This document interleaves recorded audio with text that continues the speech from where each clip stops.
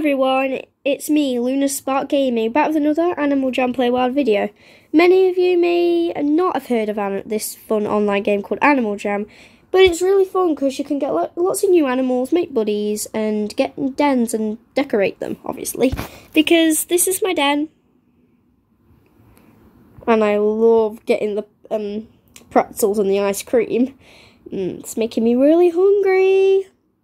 Um, so today in this video, I'm going to be showing you some of my animals that I have. I mean, I've got, I think, nine animals, but you've had a sneak peek. So number one, I use for videos, my Arctic Wolf. Wait, I'm going to be showing my animals and pets. Okay. Uh, so first is my Arctic Wolf. Then is my Komodo Dragon, which you've noticed Arctic Wolf and Komodo Dragon have got the same outfits on. Um, number three, I got like a few, like an hour ago, I got this German Shepherd a tiger, a bunny, a wolf, a monkey, a panda, which I think is really cute, um, a fox, and an Arabian horse. Okay, I'm just going to change my animal back. Now I'm going to be showing you my pets.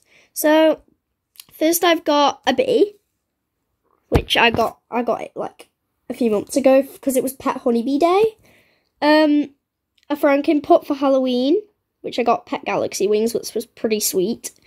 Uh, next, I got a Honey Badger. It's basically a badger, which I think is cute. A Vampire Bat, which I haven't leveled up yet, which is sad, because I got that a few days ago and I haven't managed to level it up because I've been so busy. Um, next, I've got a Dire Wolf, also for Halloween. And as you may know from my videos, I am using my pet hamster, which I've decided I might want to change the outfit. I'm just going to go ahead and change it. No.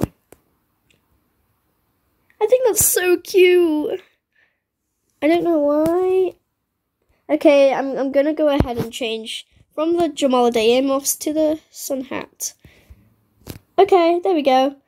But yeah, that's all my animals, guys. And anyway, I hope you enjoyed this video. Make sure to like and subscribe. And don't forget to keep jamming, guys. And I hope maybe, if you thought this video was helpful, maybe you might want to download this game at some point. It's really fun. I think you should try it out. But yeah, guys, I'll see you soon. Bye.